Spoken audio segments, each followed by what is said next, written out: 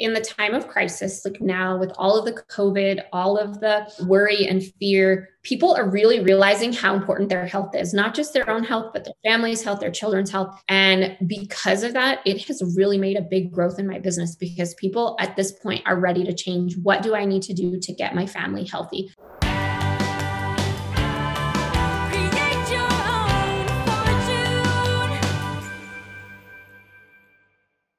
And we're live, ladies and gentlemen. Today I'm talking to the amazing Piper Gibson. She has a lot of things that we can learn from her because she's, a, and I need to even glance a little bit at my notes.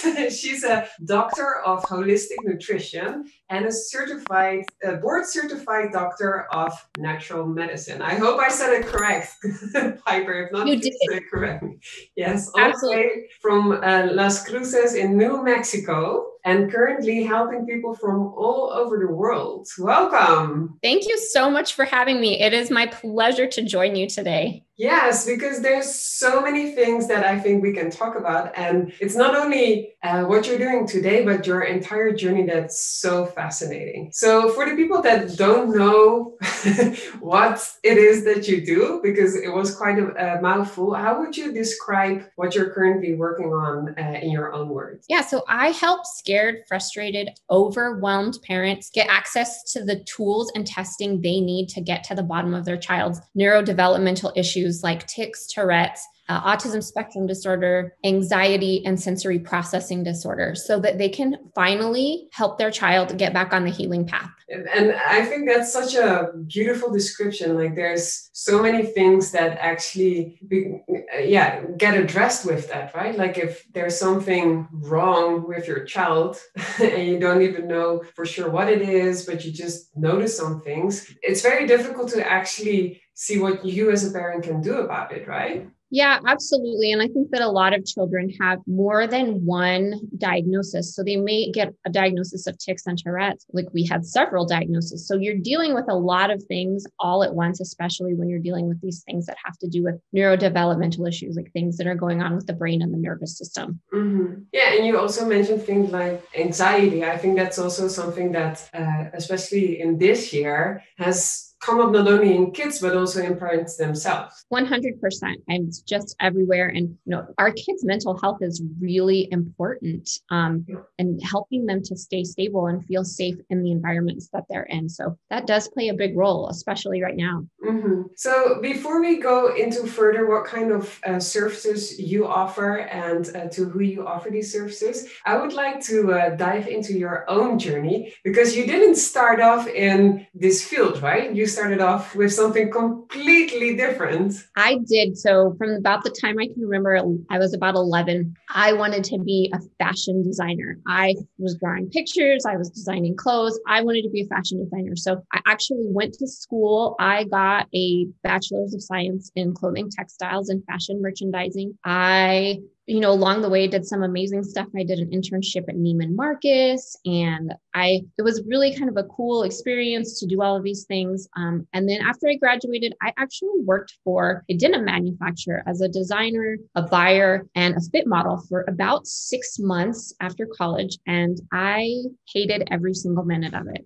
It was horrible. it was not what I wanted to be doing. I was really unhappy. In fact, at that point, I had actually been having some issues. I went to the doctor, like, you have some anxiety. And they tried to give me some pills for it. And so I just knew that I wasn't in the right spot. You know, I was doing jeans, but I wasn't in the right spot. So um, I actually, after that, worked for the American Red Cross doing PR and marketing for about So you made years. like a complete change from jeans yes. and fashion to the Red Cross. Yes. So I spent six years years at the American Red Cross doing the PR, doing the marketing. Um, mm-hmm. and then I had two kids. So I did spend a lot of time um, after that as a stay at home mom. And then, so, well, that, that, that's already quite a change. Uh, but then uh, life gave you a new challenge. Yeah, it did. So when my youngest son was six years old, we had come home from an awesome trip to Disneyland, to Legoland. He was completely fine. And the next morning, he woke up and he was twitching his neck and blinking his eyes, clicking clicking his heels together. It was severe. We didn't know what was going on. We thought, well, is he having a seizure? Like, what's happening? Um, so we, scary. It was very scary. We were absolutely terrified as parents because we didn't know what to expect. So we went to the pediatrician, and the pediatrician said, you know, I think it's just a neurological tic. Ignore it; it'll go away. But I will send you to the neurologist just in case. So we went to the neurologist. The neurologist took a look at him and said, "Oh, we instead of giving him an MRI, his suggestion was that he just needed a good spanking." What?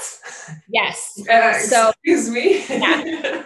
yeah i was like uh no like this child cannot control his movements. He's an emotional wreck. I don't think that a spanking is going to work. So we at that point we had seen about 10 different doctors. We tried eight different medications. Um, and i just at that point felt like conventional approaches had failed us. They were, we were being told ignore it or spank him or try these medicines that were not working. And thank god you had your own judgment in this right? Like who would even suggest something like that? I, yeah he, well the good news is he is no longer a doctor. He got in trouble for all sorts of other weird things. Um, but he, yeah, he's not a doctor anymore. So yeah, and and so basically, you tried everything, or at least that's what you thought. Uh, your son wasn't getting better. And then what happened? So he was not getting better. Nothing was working. I wanted somebody to give me my son back. I wanted them to show me how to do it, and there wasn't anybody. So, out of desperation, I went back to school and completely completely relearned everything I knew about health and wellness. And ultimately, we were able to transfer my son, transform my son's health. His long list of symptoms started to melt away. And, you know, now he's 15, he's learning to drive, he's symptom free, he loves the outdoors, he's incredibly kind. But the best part is, is that he doesn't have this long list of symptoms anymore. Yeah. And so we have done that using functional lab testing, food, and natural approaches. Oh, that's amazing. And for the people that don't realize, like you say, learning to drive, that seems like something very normal. But can you explain why having what your son was having uh, would prevent them even from driving? He, because his movements were so intense, yeah. if he was experiencing that now, there's no way he would be able to, to drive a car. It would just be too jerky and too, he, there's just no way he wouldn't be able to do it. So for him to be able to, you know, drive a car, that's really a significant thing. And, you know, his everything I did really drove me, you know, what he had going on drove me to get my doctorate, to get board certified in natural medicine. Everything I do is alternative and natural. But the fact that it was the only thing that worked that worked out of everything that we tried has been really significant. That's amazing. Because it's your own son, right? Like what better motivation and success story can you have? Right. Yeah. Exactly. And how did you have a hunch that this might be the solution? Or was it just like, okay, well, nothing else worked. Let's just try something else? I became a mega researcher. Like I spent hours reading books, looking at things on the internet. You know, my husband was watching a lot of YouTube videos and he really felt like there was not a solution. He really felt like based on everything he was seeing that there was no, nothing was going to change. But I, I just knew in my mom's soul, I knew that something was going on. So I just just started researching and learning and doing everything I could to really figure out what might be the issue. And we started putting it all together with diet and uh, genetics and um, lifestyle, getting rid of toxins, detoxing. So everything that we did, it's like a huge step by step process that's out of the conventional box. And uh, so you learned it initially uh, within your own family context and then you started helping other people out. Yeah after i went back to school and relearned everything i knew mm-hmm. for me i felt like i had always wanted somebody to hold my hand to walk me through the steps i needed to take with my son. At one point we had been referred to a nutritionist in town and she was booked six months solid. So i was like i'm gonna figure it out myself. Um, and so i figured it out myself and i realized that there was no there's nobody out there to hold other parents hands to walk them through this process. It's extremely overwhelming. It's really scary. Um, there's so much information on the internet about different things that you can do for tics and tourette's and all of the things that come with it. And so for me to be able to say look here's this step-by-step approach that i took with my own son that i'm using with my own clients. Let me hold your hand. Creating that community for parents has been incredible. Yeah and uh, i can imagine that there's also a lot of judgment and myths around uh, this topic, even within the medical sector itself. Would you be able to share some of those? Yeah, a lot of parents are told just ignore it, they'll grow out of it because they're not looking at the deeper issue. They will tell you, they'll tell you food doesn't matter, what you're eating does not matter. And 9.99999 times out of 10, the food, what we're eating does matter. What we're exposed to in our environment and the toxins around us, the things that we're spraying on our fruits and veggies or the pesticides we're spraying around our home, mm-hmm. they all they all have an impact. They all affect our body, especially for kids who are already struggling. So they get in this state of stress. So whether that stress is from the environment or something going on in their body or it's emotional, physical stress, whatever that stress is, they get in this stress mode and it becomes like a snowball. Their body uses more and more nutrition and nutrients to try and get them back on track and it just keeps getting worse. Their bodies can't keep up. So it's a matter of figuring out one where the stress is coming from and two what do they need individually to help remedy that stressful situation. Yeah, because I think also if you get dragged from doctor to doctor and people even suggesting spankings as a way to solve your problems, well, that doesn't alleviate it, right? It only makes it worse. It only makes it worse and it makes it very overwhelming. Um, a lot of parents are prescribed medications. We tried eight different medications and you know nothing ever worked. And I felt like, why am I giving this child eight medications at one time? Um, because when you take a medication, and sometimes they're necessary, changes your biochemistry, it changes that chemical composition that's going on in your body. And I felt like there's if it's not working, there's no reason to keep doing this. Um, and yeah, the side and, effects. Uh, um, of course, you're an expert, so you talk a lot in like very medical terms. But for the people that don't realize, like, what does it mean that somebody changes their chemistry? Like, does it have an effect on their personality, for example? It can. So your body has specific things that it's doing inside. It's really what's called biochemistry, but how your body, your cells, your organs are functioning on the inside of your body. And when we change that function, it changes the chemicals that are going on. Um, when we change that function, it can affect your brain, it can affect your digestion, it can affect um, your skin. Uh, I see a lot of people who are using a lot of these medications, they are exhausted or experiencing just different side effects. And they, they're different for everybody. Um, but if you've ever seen a drug commercial, I think it's different for you because you guys don't have a ton of drug commercials, but we do. Yeah. And here it's like you take this drug, you may experience diarrhea, vomiting, your eyes might bleed, you might have, I mean, it's like six different things when it comes to using a medication. So it really. And that's just one pill, right? Let alone taking eight and being eight. like a 12 year old or a 13 year old. Exactly. Also, uh, because there's so much ignorance, I would almost call it. I'm not sure if that's the right word, but in the traditional medical circuit uh, around these topics, are there also a lot of people that are not even given the right diagnosis? That does happen that there's people that are not given the right diagnosis because doctors are not testing. And it may not be that they're not testing, it's just that they're not aware and they're not trained in in these different areas. So doctors are great. If you have a heart attack, if you break an arm, you need your appendix removed, you need a doctor. Doctors are great, but they're not trained in this kind of how to manage chronic or long-term illness. And a lot of times they, you know, they just trained, but there here's a pill. Most doctors get zero nutritional training unless they take an elective and then they get about six hours of nutrition training. So they don't really understand that in-depth interplay of the food, of nutrition, of all the other things that are going on inside the body. They're just really have that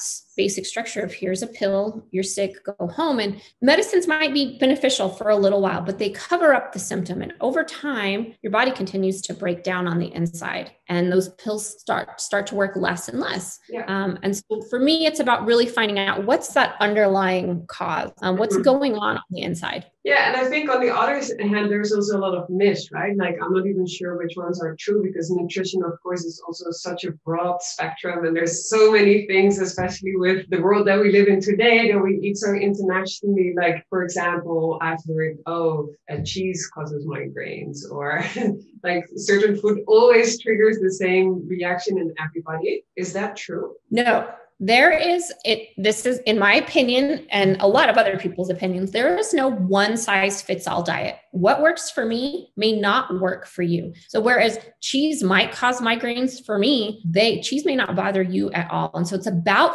figuring out what is your optimal diet. I do a lot of food sensitivity testing. Mm-hmm. um, so allergies would be like if your throat closes up and you can't breathe but food sensitivity testing is delayed which means you don't associate the sandwich you ate on monday with how you're feeling feeling on Wednesday, you just think, yeah. what did I eat for I lunch? would already I have forgotten what I ate on Monday. Exactly. So, you know, I really look at food as there's no one size fits all diet. It's not the same for everybody. And especially with these kids that I'm working with, these families that I'm working with, it's really about figuring out what works for them and helps to, you know, reduce their child's inflammation, to reduce their symptoms. So, yeah, there's no one size fits all diet. Everybody's different. Yeah, and I, I, love how you took your own experience and your own family situation, healed your son, and then moved on to uh, help other families. First of all, like in your proximity, physical pro- proximity, but now with businesses also moving online, you're basically serving the entire world. Right. And I do. I work with people all over the world. I went from working in jeans to working with jeans. Um, and my, yes. mom always,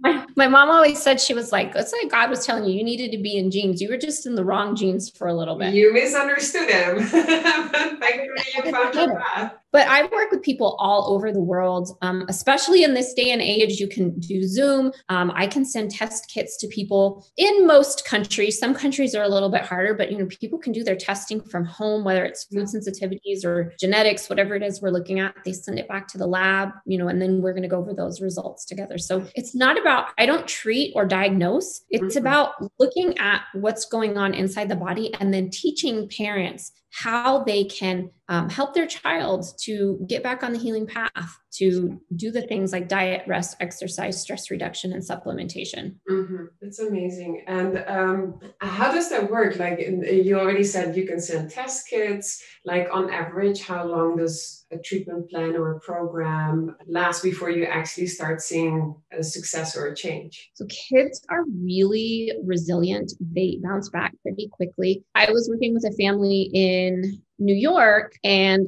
the mom, there, his mom actually called me while he was in the mental institution. Um, he'd been there three times, and she called me. She said, "My friend referred me. I was wondering if you think you can help." And you know, we talked about what all they had done. I said, "Well, has anything worked?" And she said, "No, things are just getting worse." And I said, "Well, then it's worth a try. We can try it." And just to give so, an example, like when somebody says, "Like we've tried everything," they try. They tried. They tried tons of medications. Some people have tried natural things like vitamins and supplements, but for for this case, they had been on every medication on the planet. Um, I think at the time he himself was on eight medications, mm-hmm. and so I sent her the test kits when he got out of the hospital. Um, they did the testing, so he had um, anxiety, severe anxiety, uh, bipolar. He was delusional. So he was like seeing things and hearing things he was really, really struggling. So we started working together and we saw huge changes with him in six months. So he's off of all of his meds except for one. And he was able to get a, uh, he's a teenager, so he was able to get a job and learn to drive. Um, he recently graduated from high school. So his mom said, you know, all things that she thought he would never, ever be able to do, that he was just suffering and struggling. But we changed so much of his diet and his lifestyle. We helped him sleep better. He was staying up all night long. So kids are so resilient that a lot of times we see results really quickly. My son, we saw results in about 30 days. It wasn't complete recovery, but we saw a lot of results in 30 days. And so changing things in kids, they can really bounce back really quickly. It just depends on on the child. That's amazing. And it's also such drastic changes, right? Like from not being able to control movements uh, and being unable to drive a car, even being in a, a mental institution to getting back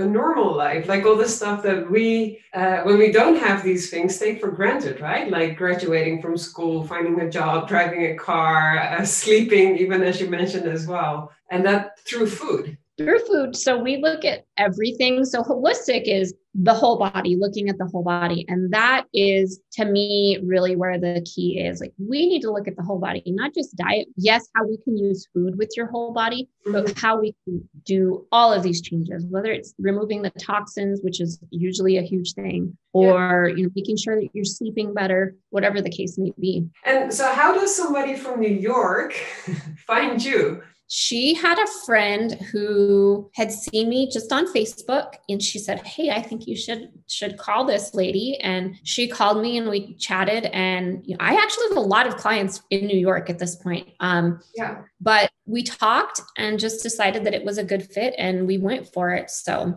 mm-hmm. That's amazing. That also shows how powerful social media and the internet can be, also in a good way, in a positive way, right? Oh, a hundred percent. Like to be able to work with all the people that I've worked with and all the places I've worked with them, you know, so much of it has been social media and that connection. Yeah. That's how we got connected. Exactly. And uh, also on social media, I see you uh, explain a lot of things about tic and Tourette because I think there's also a lot of things that people that are not confronted with somebody that has that in their environment, like we're clueless, we don't have an idea, right? Yeah, no, I, I I share a lot of information because I think just even for parents, there's so much information on the internet. It's very overwhelming to really talk about real what is a tic. You know, there's different kinds of tics. There's vocal tics where people are making noises with their throat, or there's just physical tics where they're you know twitching or jumping or clicking their heels together whatever the case may be there's so many varieties of, of tics but based on the fact that parents are on the internet, they're on social media, they see things like, oh, you need magnesium and B6. So they try magnesium and B6 and it doesn't work. And I'm like, well, the reason that doesn't work is because we're not looking at exactly what your child needs specifically. We're just shooting in the dark trying different things and that's where a lot of people feel like they've tried everything. So i really try to break it down and make it clear about like these are the different things that can be involved and it's a matter of digging deeper and looking under the hood. You don't well some people probably do but you don't drive around with your check engine light on your car. Mm-hmm. you take part of the mechanic you your mechanic hooks it up to diagnostics and he tells you like this yeah. is what's wrong with your car. When it comes to our symptoms they're having a tic. They can't focus. They can't function. They're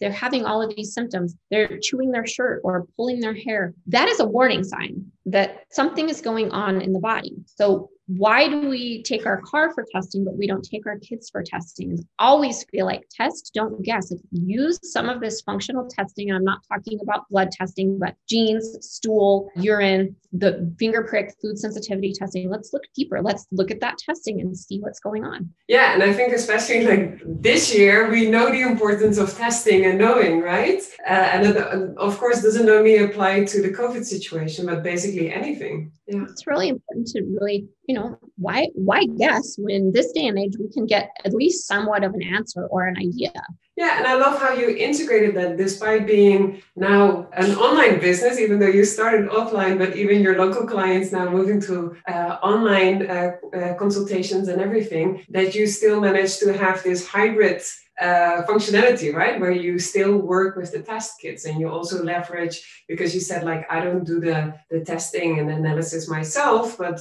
you make sure that that part is also covered in your business. Right. Yeah. It's just been amazing, just the ease. You know, I was I was virtual before virtual was cool. I mean, everybody's virtual now. Yes. But you know, I did see people, and I do still a little bit see people at my local office, but I, you know, word got around and people would start calling me, Can you work with me? And that's the beauty of let me get this kit in the mail to you. You do your own testing. I don't have to deal with your urine or your stool. You do your own testing. You, you yeah. send it back to the lab. And you, has that ever happened that somebody sent their stool samples to you by mistake? No, thank goodness. But yeah, I mean, it, the kits are easy. It comes with like FedEx or UPS bag in the kit. You just package it up and send it back. You'd be surprised what gets gets sent through the UPS and the FedEx. That's amazing. Um, also, running your own online business. Uh, how does your previous life as like at the jeans company, the denim company, and more in advertising and digital marketing or marketing in general, how does that help you today? Um, I so really I would say that the most beneficial beneficial thing for me was I don't know that necessarily the denim manufacturing job really helped me very much, but for sure doing all of the things I did with the American Red Cross and learning all of the PR and the marketing. I took marketing in college. Um, it's a big part of the fashion design program, but for me to put it into action and to do that with the Red Cross was really beneficial. Like how do I how do I get myself out there? How do I get the Red Cross out there? How do I get a scene? So I learned to do things like write press releases and get in front of the uh, news to be on camera and talk about what was going on with the Red Cross. So that to me was super beneficial. But then a lot of it I've just had to learn on my own. Like, how do I do a website? How do I make these Instagram posts? So I've had to do a lot of behind the scenes learning on my own as well. Mm-hmm. Yeah, and try and error what works, what doesn't work. Hey, lady from New York, amazing that you found me, but where did you see me, right? Right, and that is true. You, I always ask, like, how did you hear about me? Most of my clients do come from referrals or from Facebook. I do a lot of interaction on Facebook. Yeah, and you mentioned that before, like the importance of community also, because uh, as parents, well, it's already busy being a parent, especially these days with a lot of parents also having to homeschool their kids. But I think it's very important to be able to learn from each other, to support each other. Um, how do you enable that? I felt so alone for a really long time not having answers, not having anybody that understood. I mean, I had my husband, but like in general, I felt alone in what what we were doing. And so I wanted someone to hold my hand. I wanted someone to help me get my son back, and there just wasn't anybody. So for me, I've created that community. I want to be that person that helps these families, these moms get through this this dark spot in their life to see the light at the end of the tunnel. So I actually I have a Facebook community where I have tons of moms and families and parents um, who are on there and we interact every Tuesday. We talk every Tuesday morning, but really just providing support and information uh, and some guidance because there's so much out there. They, they definitely need the guidance. So community to me is a huge part of helping these families to help their children. Mm-hmm. And could you give an example of uh, what kind of support people are giving each other in these communities? They ask a lot of questions. Have you tried, um, for example, somebody asked the other day, um, about a low histamine diet, like foods that are high in histamines, things like chocolate and spinach and strawberries. Like, do they contribute to tics? So we then we talk about diet, and people say, "Yes, I've tried it. No, I haven't tried it." We talk about how it works, but I usually select a topic that somebody asks about, and then on Tuesday mornings we we call it TikTok Tuesdays oh, in my group. We address a different topic every Tuesday and talk about you know what goes into it, what the myths are, what they're hearing and seeing on the internet, and what the actual truth is, and what they can start to do with their child. Um, Halloween's coming. A big thing was, you know, we talked about sugar. Well, what do I do for my kids for Halloween? And we talked about different things you can do to substitute the junk food for a healthier option. Yeah, that, makes total sense. What has been the biggest change for your business this year? The biggest change for my business this year is there's two. So I'll give you two. One is really digging into the virtual. Uh, I was a little resistant to the virtual. Yes, I was doing it, but not as much as I am now. So really digging in and getting into that virtual. And what but, um, resistance? Why did you feel resistance on going virtual? I felt like in person, I, I feel such a connection to people. Mm-hmm. And I felt like it was kind of hard to have that connection with virtual. But my opinion has definitely changed on that as well. Um, so that was a big change. Um, the other big what, what made you change your opinion on that? Because I'm able to, like you are, you and I are, we're able to get on Zoom and look at each other and and talk and create. And connect because when you talk about your your clients and your son, like I get goosebumps, I get sweaty palms, like I really feel your stories, right? And i think i was resistant to figuring out how to create a relationship on on zoom but it's definitely possible. It happens and i think it works. So yeah. that's been a bit mm-hmm. so that was um, one of the limiting beliefs that you're like oh it's not possible if i go virtual to have this relationship that i would like to have with my clients to really help them uh, with the the best service that i can offer them. Exactly. But that's really changed this year. And you know i i consider just going 100% virtual because even my local clients are like, can we just meet on Zoom? So. so it's not even just from your perspective, right? It's even your customers that are like, oh, I can save myself the commute or like, um, yeah. What other benefits do customers see? The, the, the ones that were local and are now virtual? Definitely saving time. I've got a lot of moms who are like, look, my kids are home, I'm homeschooling, I'm running my own business, or I'm working from home. And it's going to be so much easier for me to get on at lunch or after school to do a Zoom than it is for me to get in my car, drive to your office, meet you at your office, and drive home. Yeah. And I think that's been a big, a big change for a lot of my clients. And they were resistant at first too, but we didn't have a choice. So now they're like, oh, yeah, it's pretty easy. We like it. And uh, the second thing, or did we already cover the second thing? Sorry, it was a very elaborate one, so I'm not sure if it's included.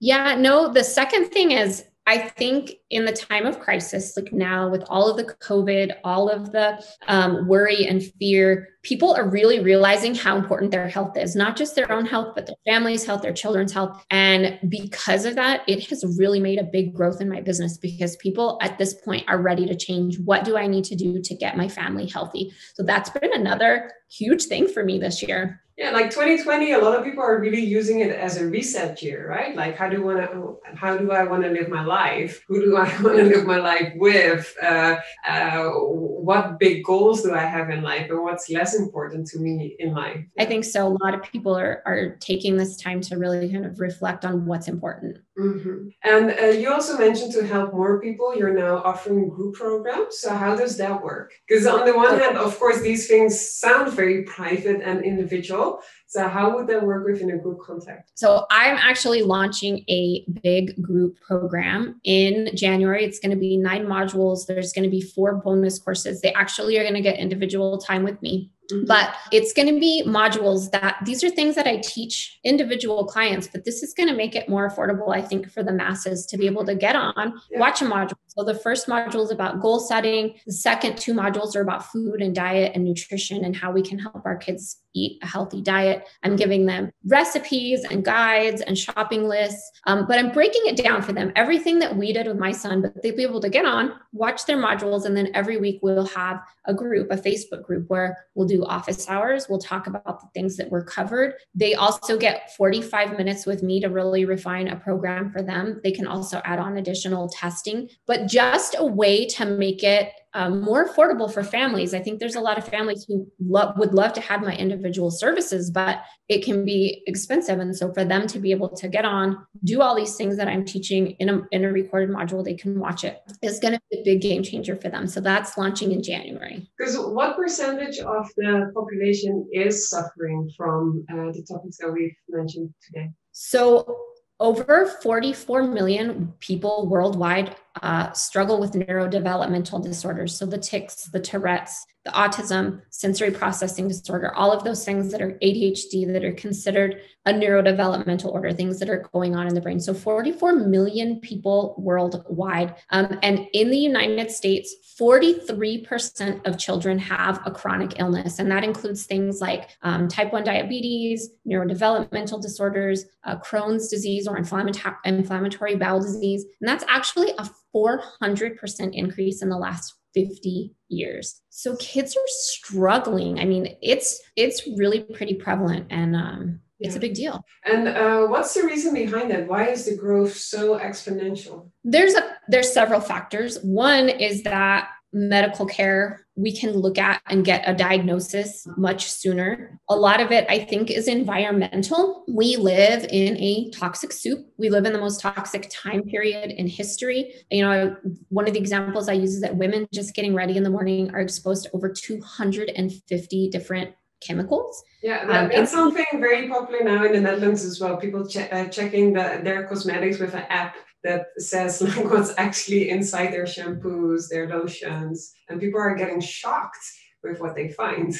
Well, and you in the in in the Netherlands and in the UK and on the other side of the pond, you guys actually have much better laws regarding toxins. And so in the United States, we had a law passed um, several years ago in the 80s that basically grandfathered in a whole ton of chemicals that were never tested, um, that are used in the environment, that are used all over the place. And we have a lot of there's a lot of toxic issue going on people are you know we're spraying our food over here with all of the pesticides you're eating it it's damaging your gut so I think toxins also play a really huge role. What we're eating, we're eating more processed garbage food than ever. People are not eating uh, nutrient dense whole foods. They're eating processed foods off the shelf because they're convenient. So that's another contributing factor. So there's lots of factors that go into why we're seeing this huge increase in chronic childhood illnesses. Because 400%, that's incredible. In 50 years, in 50 years, I mean, that's